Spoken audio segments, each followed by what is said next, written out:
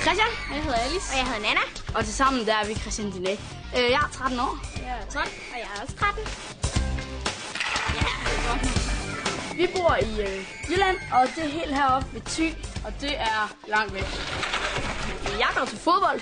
Jeg er meget sammen med mine venner, og øh, så spiller jeg klaver. Jeg spiller også fodbold. Og så er jeg også sammen med mine venner. Vores sang handler om en pige, som kommer ind i klassen. Hun er meget generet. Så er der en plads ved siden af mig, så hun kommer ned og sidde. Så går vi ud sammen, og så, så, så kan jeg godt lide hende, og hun kan også godt lide mig. Og så ender det sådan. Og sangen hedder Filen, jeg kan lide, og øh, vi ses. Hej hej. Så er Christian Diné klar til at trykke den af. Sang nummer 8 med nummeret Pigen, jeg kan lide.